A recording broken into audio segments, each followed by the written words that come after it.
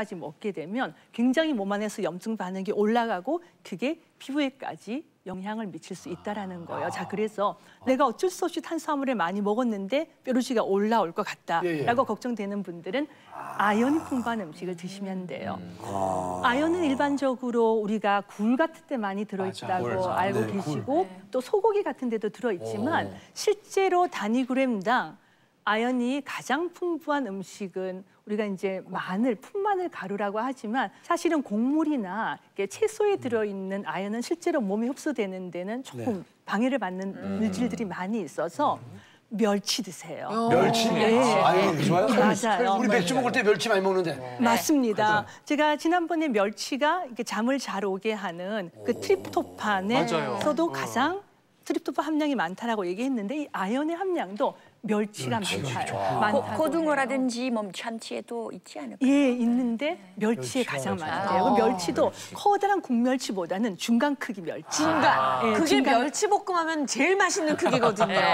또이 마른 멸치를 중간 크기로 조금 드시면 아연을 풍부하게 섭취할 수 있어요. 혈당이 높거나 당뇨가 있으신 분들은 크롬을 충분히 섭취하는 것이 좋습니다.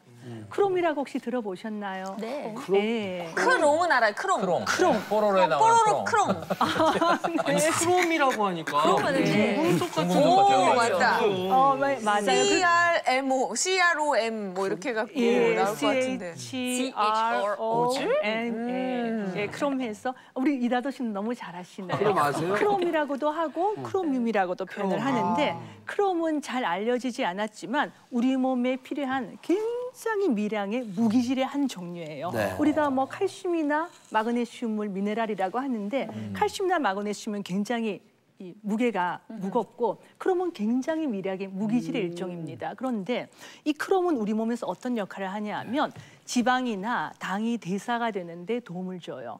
우리가 당뇨라고 하는 건 이 혈액 안에 포도당이 막 많이 떠다니면서 혈당 수치를 높이는 건데 이 크롬이 이 포도당이 혈액 내에 막 떠다니면서 혈당을 높이지 않고 세포 안으로 밀어주는 역할을 하고요. 그 다음에 크롬이 부족하면 그러니까 실험을 해봤더니 네. 크롬이 없는 음식을 쥐한테 많이 먹였더니 그 쥐들이 막 당뇨병 증상이 생기더라고요. 아, 진짜로요? 예, 그래서 크롬은 사실은 부족하게 되면 콜레스테롤 수치도 올라가고요. 네. 그리고 또 몸에 좋은 콜레스테롤 수치가 더 내려가고 어. 심지어는 중성 지방 수치도 올라갈 수 있다는 논문들이 조금씩 나오고 있기 때문에 네. 혈당이 높은 당뇨가 있으신 분들은 크롬이 풍부한 음식을 드시는 게 좋습니다. 뭐가 있어요? 크롬이? 어, 크롬은 초기에는 맥주 혐오나 버섯이나 버섯. 현미 같은데 풍부하게 들어있다라고만 알았는데 최근 미국 국립보건원에서 조사를 해봤더니 그 의외로 크롬이 많은 채소가